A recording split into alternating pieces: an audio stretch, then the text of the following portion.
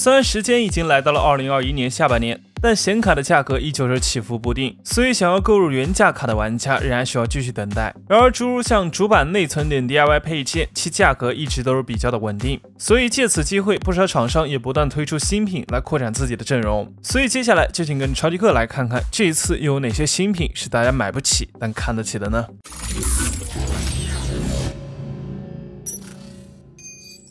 首先是显卡方面，作为工作站的必需品，NVIDIA 的 RTX A 系列一直都是业界所期待的。而与此前 RTX A 六千、A 五千的老大哥相比，此次最新发布的 RTX A 两千可谓是以短小精悍著称。具体来看，RTX A 两千仍然隶属于安培架构，采用三星八纳米工艺的半高双插槽设计，但会基于 G 幺零六核心打造，拥有三千三百二十八个 CUDA 核心，一百零四个 Tensor 张量核心，二十六个 RT 核心，并配备了位宽为一百九十二 bit 的六 GB GDD DDR6 显存，整卡算力来到了八 T 浮点。但比较意外的是，RTX A 两千的功耗仅为七十瓦，对于那些小型工作站用户来说，简直就是福音。至于其他方面，RTX A 两千还配备了四个 Mini DP 一点四接口，并支持 PCIe 四点零乘以十六带宽以及 ECC 纠错功能等。目前该卡售价四百五十美元，最快将于十月份出货。除此之外，其仍然会有移动版本，但主要应用于轻薄型的 RTX Studio 笔记本上。对此感兴趣的用户可以关注一下。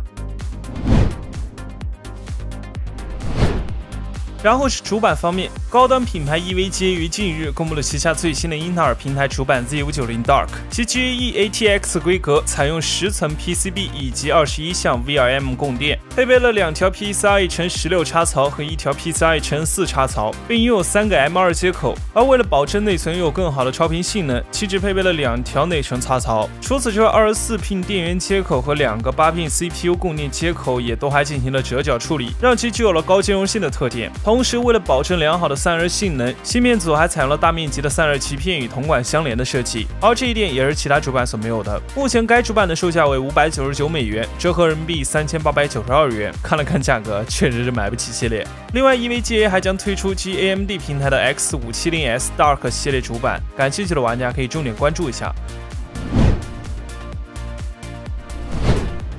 内存条方面，目前微刚已经率先发布了旗下首批 DDR5 内存，并拥有普条和 XP7 系列两个产品线。其中普条面向一般用户，频率为八千四百兆赫兹，电压在一点一伏左右，单条容量最大可达六十四 GB，并支持片上 ECC 功能，整体性能将是 DDR4 的两倍。而 XP7 系列则是面向于高端玩家，最高频率可达一万两千六百兆赫兹，电压范围在一点一伏到一点六伏之间，单条容量最大可达三十二 GB，同样支持。片上 ECC 功能，另外其还会提供 RGB 以及非 RGB 两个版本，均用于英特尔即将上市的十二代 Alder Lake 处理器。而从这些特点中不难看出，DDR5 内存将会是未来的主流，但上市之初应该还是价格偏贵，发热量较高，所以建议玩家们先观望一下。硬盘方面，微星于近日推出了旗下新款旗舰产品黑镜 M480 PCIe 4.0固态硬盘。其采用了 3D NAND 的闪存颗粒，并配备了 DRAM 缓存和 LS 缓存技术，支持最新的 PCIe Gen 四和 NVMe 1.4协议，用 500GB、1TB 和 2TB 三种存储容量。其中两 TB 版本最高读取速度为七千兆每秒，最高写入速度为六千八百兆每秒。而为了保证高效散热，且配备了山状散热片，外观比较的亮眼。除此之外，黑镜 M480 还支持广泛的数据校准功能，包括了 LPDC、ECC 和 ERE 技术，已支持五年质保。目前两 TB 版本售价为三千二百九十九元，一 TB 版本售价为一千六百九十九元。感兴趣的玩家可以关注一下。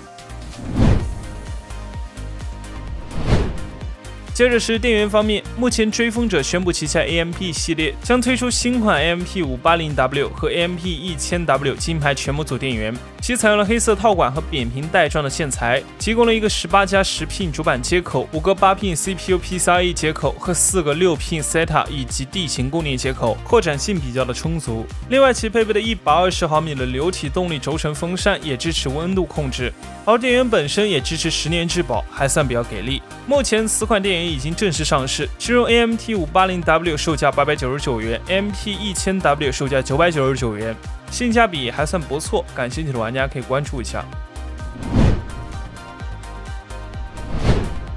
最后是显示器方面，目前雷神科技公布了旗下首款电竞显示器雷神银翼系列，其整体采用了机甲的设计语言，正面具有三边窄边框，背部也使用了光带进行点缀，而显示器底座支持一百三十毫米升降调节，九十度旋转，同时也支持负五度至二十一度俯仰调节以及负四十五度至四十五度左右调节。可变动属性比较全面，而屏幕参数方面，其分辨率为两千五百六十乘以一四四零，拥有一百六十五兆赫兹的高刷新率，采用了 Fast IPS 面板，灰阶响应为一毫秒，色域覆盖达百分之九十九 sRGB，拥有百分之九十五 DCI-P 三的高色域，同时具备 HDR 四百认证，以及兼容 FreeSync 以及 G-Sync 防画面撕裂等技术，整体素质算是 2K 屏中比较优秀的产品。目前该款显示器已于某东正式开启了预约。预售价仅为一千九百九十九元，性价比十分的不错。最近想购入电竞显示器的玩家可以重点关注一下。